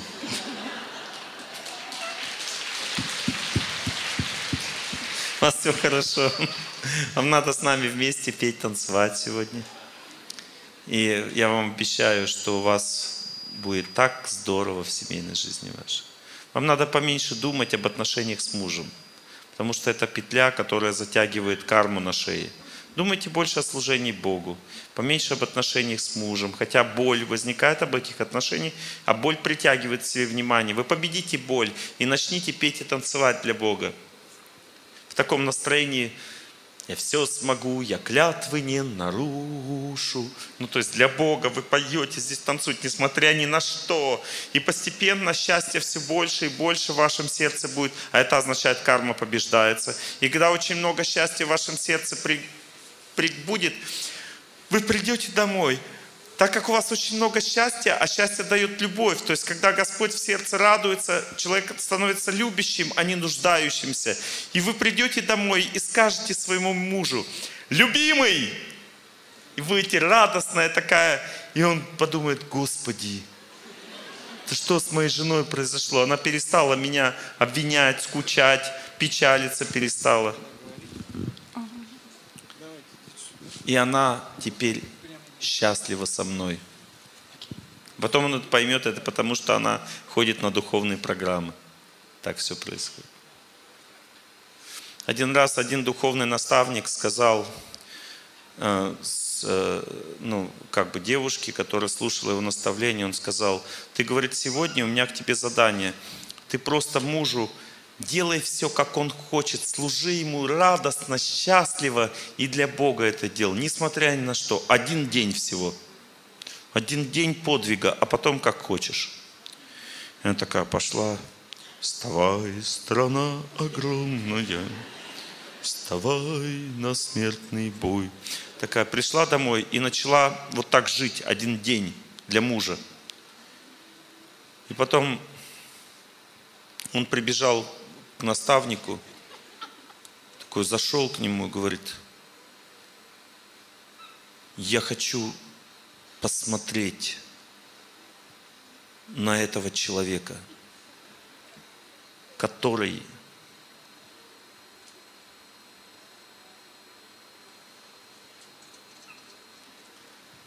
сделал из моей мымры такую святую женщину.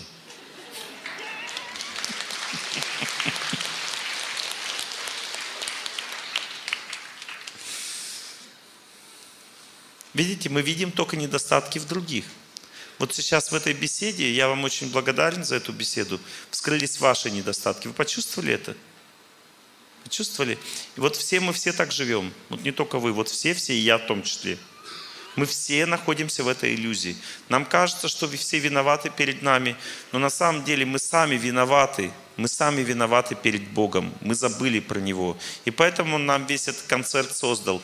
Давайте о нем вспомним сегодня на этом празднике удивительном, который один раз в жизни бывает. Я вот уже 20 лет, это торт едет уже для вас.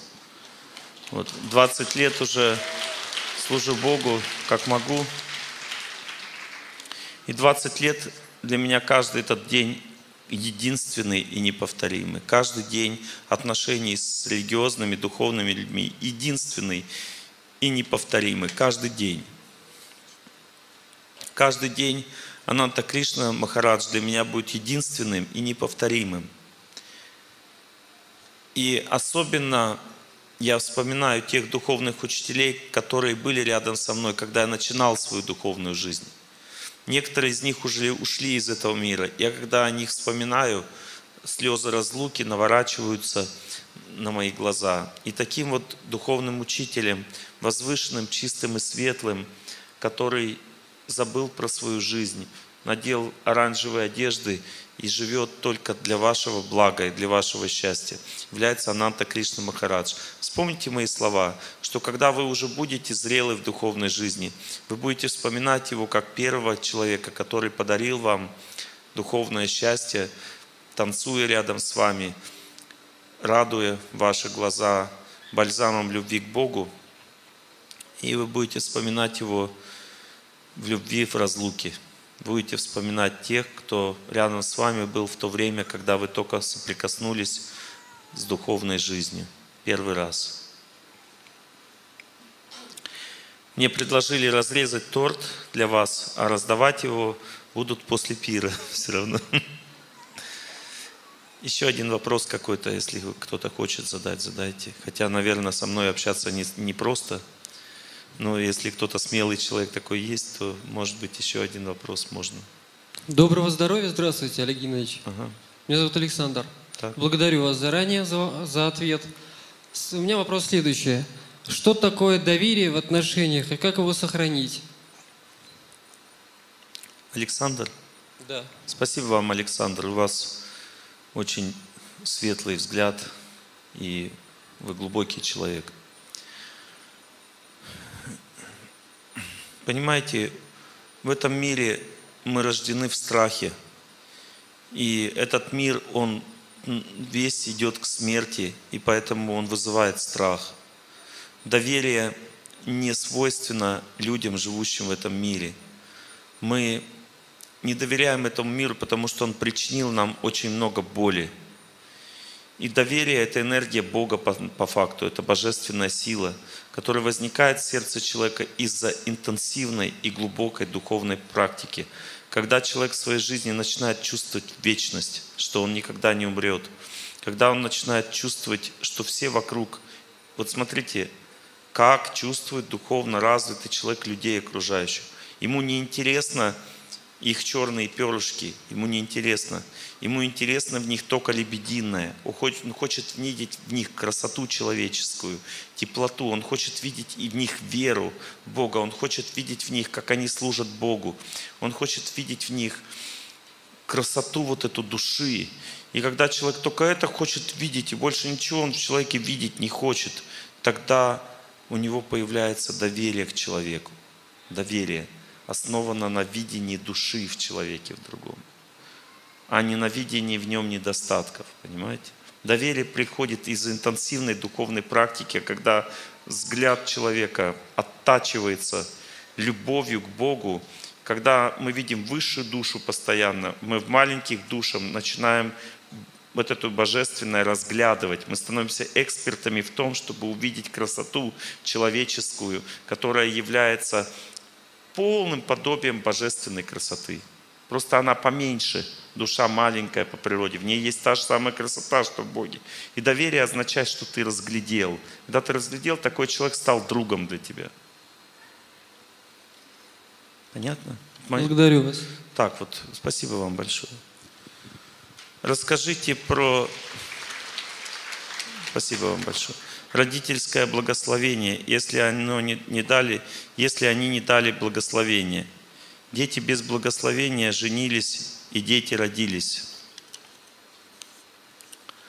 Ну, ничего страшного в этом нет. Сейчас я вам расскажу одну историю под последок. У нас осталось пять минут. Это ведическая история, описана в Шимат Бхагаватам. Господь, когда иногда приходит в этот мир, это как луч солнца на темную землю падает. Иногда ведь на этой земле бывает день, а не ночь. Согласны? Точно так же иногда на эту землю приходит Господь лично, лично сам. Он приносит свет в нашу жизнь в этом случае. Пять тысяч лет назад Господь сам приходил на эту землю, и Он приходил для разных отношений. И когда Он был в детском теле, то а, Он дарил всем отношения, а, отношения ребенка и родителя, родительскую любовь всем дарил – возможность иметь, испытать к Нему родительскую любовь. Господь соткан из одной любви, и поэтому цель Его прихода – это дарить любовь, учить любить, учить людей любить. И вместе со своими друзьями Господь, э, вот находясь в вот этом теле ребенка, он находился в лесу и выполнял задания, которые дали ему его родители. Он пас коров – телят пас. Ему было в это время еще 7 лет всего. И он, когда проголодался, он пришел в соседнее село, и в этом селе а, священнослужители проводили жертвоприношения, то есть они служили Богу. Ну, они пели ведические мантры там различные для Бога, прославляя Бога. И сам Господь пришел, удовлетворенный их э, молитвами, попросить у них немного пищи, потому что а, мальчики все проголодались. Хотя Господь, Он не может голоден, не голоден, но такова была Его игра как бы в этом мире, таково было чудо, которое Он проявлял, чтобы людей чему-то научить. И так как эти мудрецы, они гордились собой, они считали себя очень возвышенными, поэтому они не заметили, что сам Господь пришел к нему. Они сказали, мальчик, извини, нам некогда тебя кормить, мы служим Богу сейчас в это время. И тогда этот ребенок, он пошел к женам, к женам этих э, возвышенных мудрецов, которые по факту проявили себя как атеисты. И он попросил у них покушать. И так как жены этих мудрецов были еще более возвышенными душами, то они угадали, поняли, кто пришел к ним. И они взяли с собой много еды, много пищи. Несмотря на то, что их сыновья, жены мудрецов, которые проводят религиозные обряды, они должны участвовать тоже в религиозных обрядах по ведической традиции. Им надо было сейчас уже идти было на этот религиозный обряд. И дети их говорили, пожалуйста, наши отцы ждут вас, идите к ним. Эти жены, они сказали своим детям, что мы пойдем туда, где находится Господь. И они пренебрегли, в этот момент пренебрегли наставлениями своих детей, своих братьев, своих мужей, что в ведической культуре является, считалось позором. Если жена пренебрегала этим всем, она отвергалась культурой, то есть она не считала нормальным человеком, она считалась, что она очень большая, большая грешница и недостойна жить среди лебедей. Пока она не раскается, как бы не совершит вот такой как бы обет покаяния, она не могла, была, не могла жить дальше среди таких возвышенных людей. Несмотря на эту строгость, те жены э, этих брахманов, священников, они оставили своих мужей, несмотря на то, что их э, обязанности не были до конца выполненными, без жен э, это не считается жертвоприношение завершенным, они пошли кормить самого Господа. Они принесли много пищи. И по факту не сам Господь просил пищи, Он послал своих помощников к этим женам. Когда жены увидели самого Господа, когда они э, соприкоснулись с Ним в своем сердце, они полностью отреклись от этого мира. И они уже не захотели возвращаться назад домой. Они сказали, мы хотим вечно служить Тебе. И тогда он сказал им такие слова. Возвращайтесь домой к своим мужьям.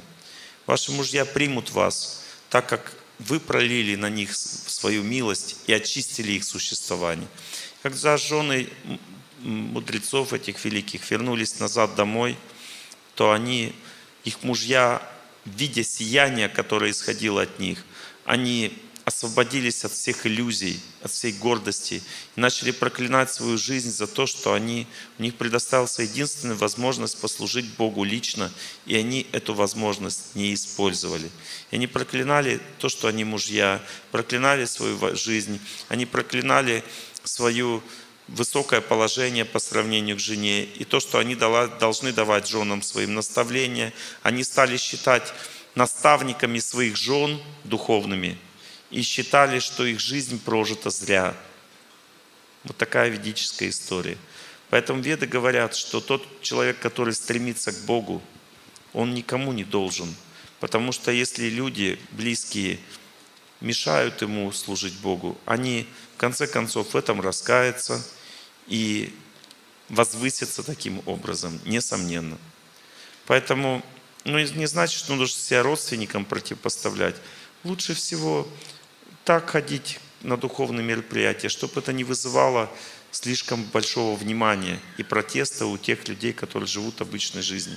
Знайте, что все в этом мире стремятся жить для себя, и когда человек начинает жить чуть-чуть для Бога и для других, это у всех без исключения близких людей возникает, в сердце, вызывает в сердце протест. Так всегда было и всегда будет, поэтому ничего не бойтесь. Все хорошо у вас в жизни идет. Кто задал мне этот вопрос? А, это по записке. Расскажите про родительское благословение. Родительские благословения иногда нужны, иногда родители живут невежественной жизнью, и не обязательно просить их благословения. Если вы чувствуете, что вы делаете хорошее дело, то спросите это у наставника – у наставника. Если у вас есть наставник, он вам честно скажет. Только человек, который живет высокими принципами в жизни, он способен давать настоящие благословения. Но если вы считаете, что вы не нуждаетесь в родительских благословениях, то это значит, что вы гордые люди, просто гордые. Поэтому вы желаете родительских благословений, спросите Просите истины у наставников, у старших духовно. И если родители также благословляют вас на такие же дела, значит ваши родители также являются для вас наставниками. Они такие же старшие. Просто вы, может быть, об этом, мы, может быть, об этом не всегда понимаем этого. Сердце родителей всегда склонно давать правильные благословения, за исключением тех случаев, когда родители немножко запутались в своей жизни. Но рано или поздно родители все равно чувствуют сердцем потому что любят своих детей, что путь, который они выбрали, правильный, и все налаживается. У меня есть много примеров, когда родители не благословляли брак, а потом начинали благословлять постепенно. Поэтому не отчаивайтесь, придет время, и все у вас наладится. Сейчас мы по традиции э, пожелаем всем счастья, да? Чуть-чуть. Да? Мы сейчас вспомним своего духовного учителя. Можете кланяться алтарю, вот алтарь прямо здесь. Мысленно кланяться алтарю, мысленно кланяться Богу, повторять «Я желаю всем счастья». И можно кланяться духовно возвышенным людям, можно кланяться просто людям, которые служат вам, вайшнавам, которые здесь присутствуют, которые хотят служить вам – Кланяйтесь друг другу, потому что вы тоже служите Богу, сидя э, в этом зале перед Ним. И, и повторяйте, я хочу жить для Бога. Пожалуйста, я хочу быть орудием в руках Господа. Я желаю всем счастья. Я желаю всем счастья в буквальном смысле означает, я желаю всем служить Богу. Потому что другого счастья в этом мире нет. И я, так как я не знаю, что значит служить, знает святой человек, поэтому я хочу быть слугой, я хочу быть твоим слугой, святой человек. Господи, я хочу быть твоим слугой. Пожалуйста, займи меня в служением себе. Займи. И самое высшее служение заключается в том, что все люди обрели возможность служить Богу. Поэтому я желаю всем счастья, я желаю всем этой возможности служить Богу.